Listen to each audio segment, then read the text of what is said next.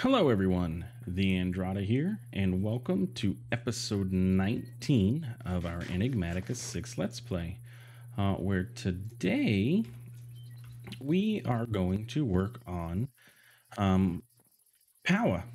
Powah has been our limiting factor for getting our Flux Core and Flux Network system set up, other than Ender Pearls, but Ender Pearls is always a problem that we will need to solve at some point.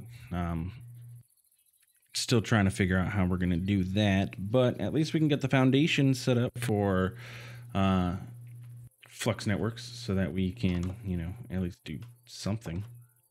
Um, at least that way it's ready to go. So when we can dive into it, it's ready immediately. We just boop, boop, boop, get it and go. So Flux networks. Flux networks is going to require us to get these flux cores, and these flux cores require an ender core from Powah. The only place to get them is from Powah, and yeah. In order to get them, we need eye of enders, dielectric casings, basic capacitors, and we have to energize them using Powah into an ender core. And of course, Eye of Ender is an Ender Pearl Blaze Powder, or apparently Ender Pearls, Amber Gem, and Crystal Shards. Either way, though, it requires of Ender Pearl which we don't have. But again, we'll figure that out soon. Uh, soon, TM trademark. So let's get into power. So first off, uh, we have a quest book to follow. We have an actual quest book, a manual on this, as well as the quests themselves in uh, quest book from Enigmatica. So let's pop into the power. Oh, I'm already here, and see what we got going on.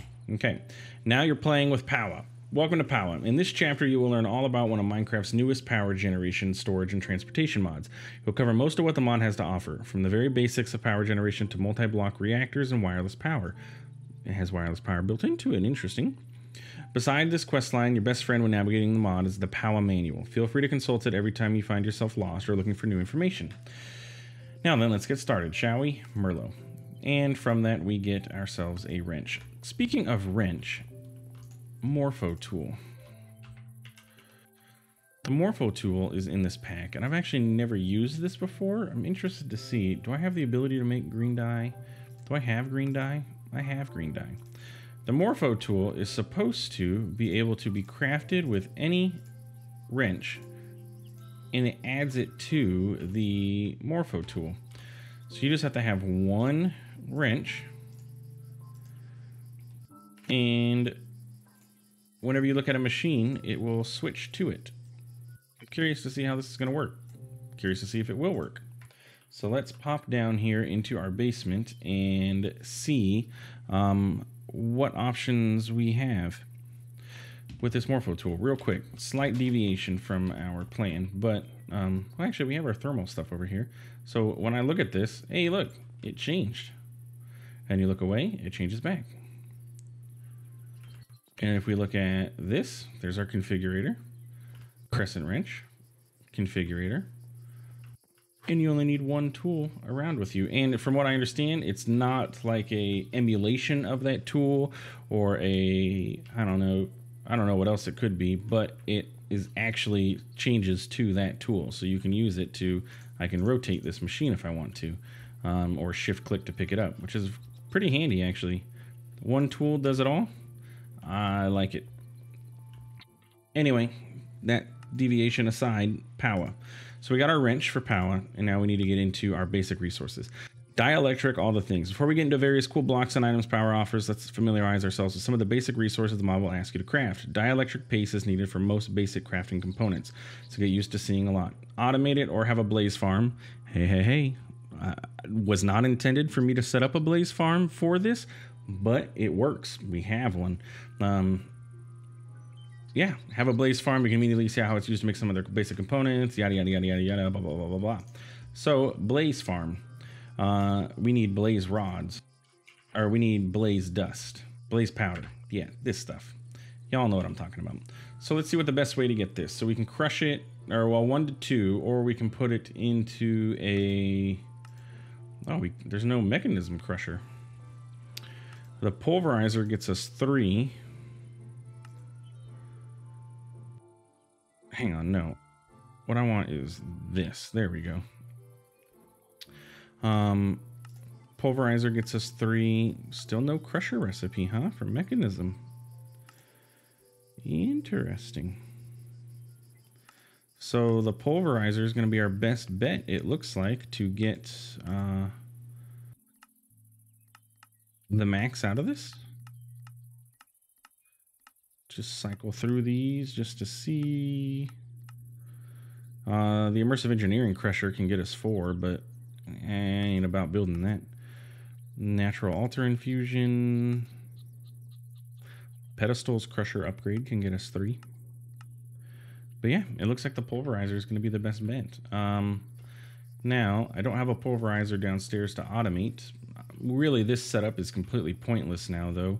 Uh, no longer necessary, so we could just uh, bring that downstairs with us and set it up somewhere. Let's do that, shall we? That way we can have it downstairs, ready to be automated. Boop, grab that. How do we want to put this guy? Because he's going to be kind of a standalone machine, but this is kind of our automation area. Um, hey, you're supposed to switch back to a standard tool. There you go. Hmm. Now we're to run out of storage soon. Um, let's see. Are we to need more? We have our smelting, our crusher. I say for now, it's fine. So let's go back here. Let's give this guy power. That is a logistical transporter, so we can set that up as well. So we're going to have this guy, the bottom is going to be an output, so we're going to clear the rest. The top is going to be an input. Uh, that is there in there. Okay. So let's get a logistical transporter here. And we need another XNet connector because why not just have it tap into that system? Uh, connector. Red connector. Make. Good. That way, if ever we need to do any uh, auto crafting, we can. Uh, so this is going to be, what direction am I facing here? No, F3. We are facing east. So let's turn off the east. And then you uh, are in configurate. So Nothing. Good. Good, good, good. Uh, F3 off. So then we need to get uh, to the controller. And from this guy, we are going to extract. Oh, and we also need to insert power. Uh, where is our insert power? Oh, I'm sorry. That was our power. This is our extract.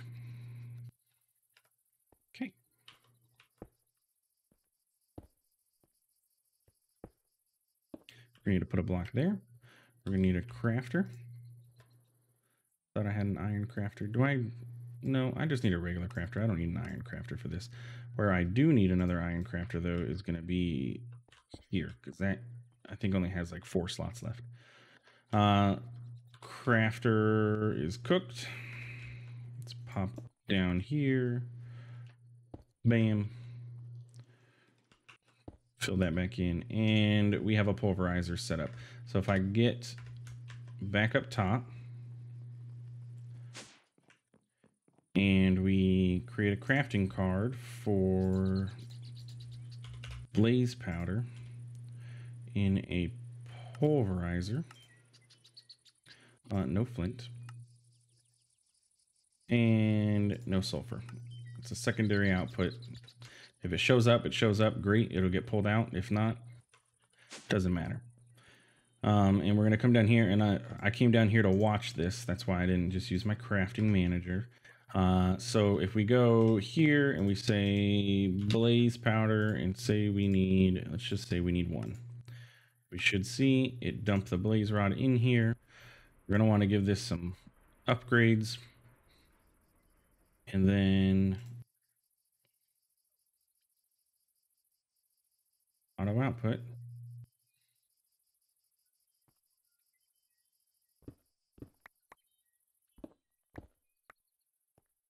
Yeah, you should have output there, right? Auto output enabled. And I set it up on the uh, connector, right? I did say, tell it to extract. God, this is such a mess back here.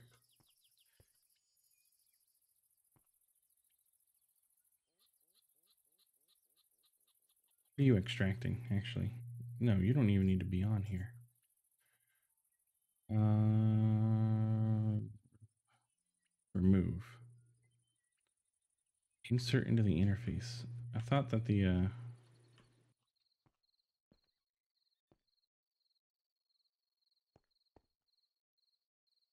Does that logistical transporter need to be on pull mode for it to insert into there? Or what if I just set the back to output?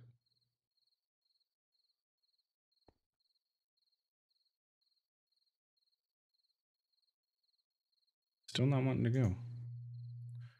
From this guy, oh, because I didn't set that to an extract. Okay, if we extract from the back now, does that work? That worked. So I guess this was unnecessary. I'm going to be honest, I don't remember why I had this here in the first place. But it's unnecessary now. Uh, okay, cool. We now have a pulverizer automated with for blaze rods. So let's get up here and teach our machine how to make more stuff. Uh, first off, patterns. We're going to need more. Let's just go ahead and craft another, uh, cancel that. Let's craft another 32 of those. Do I have enough stuff for this? Yes, good. Let's get our crafters going and get our dielectric paste. So let's go here and power. We can put those away now. And we need to go to our crafting manager, or our pattern machine, pattern grid. There we go. So, not power, power. So, dielectric paste is what it said that we need. These are all of the things that Powah can do. Generators, dischargers, thermogenerators, energizing rods, furninators, fur, furnators. Uh, but all of it is going to depend on us having dielectric paste, apparently. So that's going to be some coal, some clay, and some blaze powder. That's going to make us 16 of those. Or if you do it with a bucket of lava, it makes you 24. Um, but we don't have lava anywhere. So this is going to be the easiest way for us to dive into this. Um, dielectric rods are going to be dielectric paste and iron bars. So we're going to need to know how to make that. We're probably going to need to know how to make iron bars too. So let's teach that. You can also turn the dielectric rod, which is going to be that. Um, dielectric casing is going to be those. Let's teach that. Seems like it's going to be important. And does that look to be about it for our component pieces here? I'm to go ahead and say yes. So let's pop down here to our iron crafter, put all these things in here. and see what our quest book says to do next. So it wants us to make a dielectric casing. So let's go ahead and do that. Dielectric casing. Craft. So it's to make all the stuff that we need, which should be pretty quick because we had the blaze powder ready to go and dielectric casing. And it's going to give us two more of those. Sweet. Uh, so immediately, so you have generators and you have energy cables, which we knew we had energy cables because we had um, we had already been given some. So actually, if we take these out, it should complete that quest for us, which is a little bit cheating, but eh, I mean, is it really? We could make some if we need to. And we got a Powah loot box, which gave us more dielectric casings, which from what I understand, that's going to be pretty nice to have. So that's that. Um, so our next step, we can get into the Furninator and make solar panels um, in Lens of Ender. Is this our nifty upgrade for any power solar panel? Just right clicking, it be given to generate energy even without direct access to the sky. Solar panels passively generate forge energy. Now the question is, stored mex extract 150 RF a tick. Oh, that's actually not bad. Generates 120 RF a tick. It has to be sunlight, though. That's a possibility for us to get into these, though. 620 RF a tick. That's a blazing. Uh, Palace solar panels. I do like solar panels. I love passive energy. Like you don't have to do anything because it's passive. That is something I'm gonna add to. Uh, so it starts with the basic. We're gonna add that to our to-do list. We may end up actually getting into that. Um, anyway, that's beside the point. Uh, we don't need the furninator because we have our own power gen, and we don't need the energy cell because we have the um, Mekanism energy cell. The ender gate are small convenient component variants for ender cells that can be placed on a power ender cable and they will occupy one block space. You'll be able to upgrade your channels from any ender gate, so you'll always need to keep at least one ender cell somewhere. What is an ender cell? Ender cells are power's way to transfer power wirelessly and are one of the mod's best features. Using them isn't too intuitive at first, but gets easy once you understand them. You have a number of channels, more channels unlock with higher tiers, which by default store zero. We'll read this later. We don't need to get into ender cells yet because uh, we're trying to get into flux networks. We wouldn't even need to deal with that if we got into flux networks. So this is where we're at. We need an energizing orb and we need energizing rods of any tier. So let's work on those things because that is what we are doing right now. I keep getting distracted, my ADHD making me look at something else, and I'm like, oh, shiny, and we'll start trying to work on those when we don't need to. So let's get ourselves this guy, which is the energizing orb. He's almost done. And then energizing rod. That's a block of quartz. Uh, we don't know how to make a block of quartz. Should we deviate just a hair? compacting drawer so we can make quartz. No, we are not going to deviate. We're just going to do it as a standard recipe. It is on my to-do list though. Note, compacting drawers on my to-do list, as well as standard storage drawers.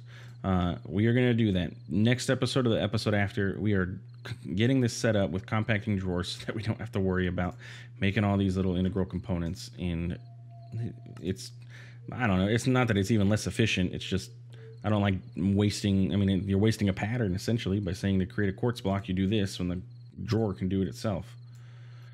So that makes that on our to-do list. Don't let me forget. Okay, so then we need our energizing rods, um, and we don't know how to make these capacitors. So to make a capacitor, we need to teach the system how to do that. I knew there was going to be more we need to learn. I thought that was too easy. Five little recipes, and that was all we needed. And we don't have a block of redstone because we never taught the system how to make redstone blocks. Okay. Again, compacting drawers in our near future. But for now, just to get this done. However, wherever we end up here, next episode, we're doing compacting drawers. That's what I say. Um, I need a total of what? Three of these?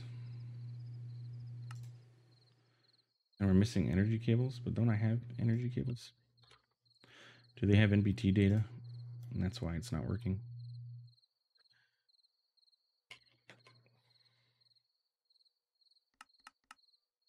I think you need four of these. They don't stack either. Um, let's go with the capacitors. So we need two more of those. And then the quartz blocks, we can put that there. Uh, and the recipe for this is this.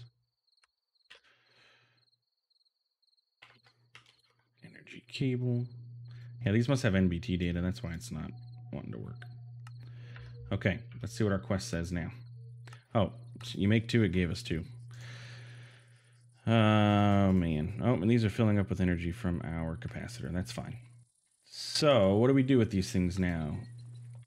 Start crafting, place down the orb, and then surrounded by placing some rods close by connected to power. The rods will now start charging up the orb faster depending on the rod's tier and how many you have.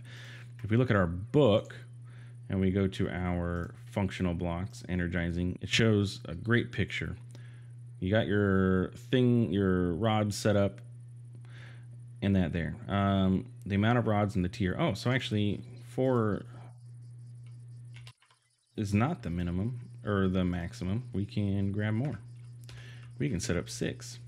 So let's set this up. Let's say we set this up here. We just need to get power from somewhere over to there. Or over to here. But for now, we can pop this here. Ooh, fancy. And get some basic logistical cable, or no, uh, universal cables. That's all I have. Wow, I'm gonna need to get more of those. Uh, so how many of these do I have? One, two, three, four, five, six. So one, two, three, four, five. Eh, it's ugly. I'm gonna want to make another one of those and get seven, but for now. And that goes there. That goes there, there, there, there, and there. And then we need to give these power. So this is going to go there, and then we'll just, this is going to get run outside. It's going to get real ugly. We need more universal cables too, by the way. I do not think I taught the system how to make those, did I?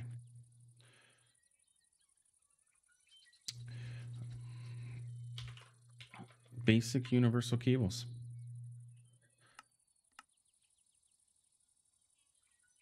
Let's go with at Mekanism basic. That's the universal cable, the mechanical pipes, the pressurized tubes,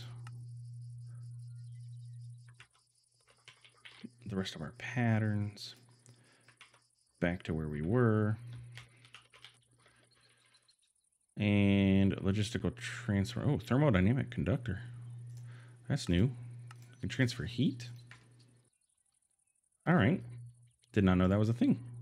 I know Mekanism has a heat generator, but I didn't know that you could transfer heat using thermodynamic conductors. And then our universal cable. Let's just grab a stack of those. I have enough for that? Yes. And I actually had everything on hand, so that's great. All right, let's pop outside and run this power. Very ugly.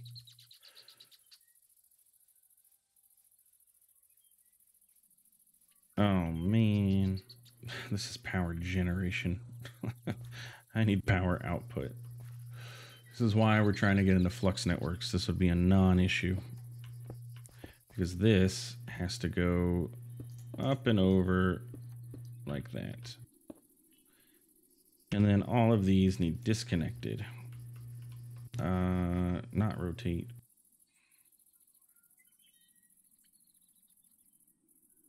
There. I'm really good at making ugly wiring runs, aren't I? Everybody makes fun of Direwolf for making ugly runs, but my goodness, it is not easy sometimes. If this, I mean, if it was Ender IO, it would be a little bit better because you can kind of, you know, run them all in one block space. But goodness gracious, without being able to do that, it's hard. Really, I should have ran this down so I didn't have to see this, but whatever. So this is our energizing setup. And just because I am OCD and I want um, this to look as it like perfect, we're going to grab one more. And we're going to have seven. Bam. Okay, now what? Let's look at our quests. So we got that going. Uh, so it wants us to make uranite, uran, ur, uranite, not uranite, uraninite. You've seen all the basic means power has to generate Fe. Now it's time to step it up and get to the big boys. Let's make a reactor. Not so fast though. You're gonna need some fuel. Okay, well we're not ready for that yet. I see, but we can actually we can try it just to demonstrate our setup. So if we put one uranium in here, we'll just put one, two, three, four, five, six uranium and get six uraninite. So we have uranium. So what do I do? Just put that in there and look, they beam into this guy, and we get uraninite. We're going to finish the quest off just because it was there.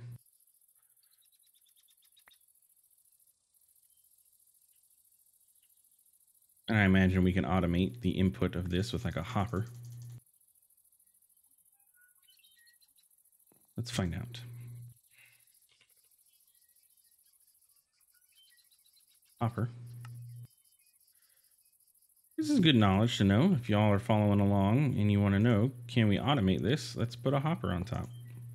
and I say, okay, so what was it? Six. So I need one, two, three, four, five, six. One, two, three, four, five, six. You can. And you can probably put a hopper on the bottom to pull that out.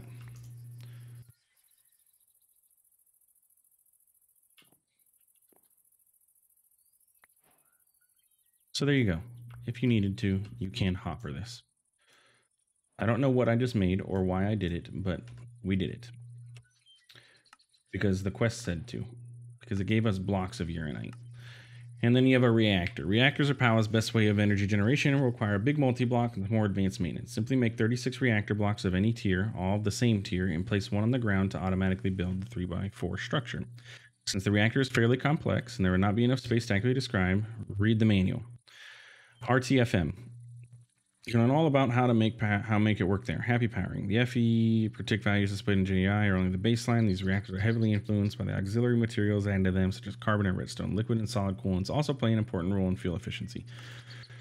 So basically, you make a reactor, you put stuff in there, and it uh, makes energy.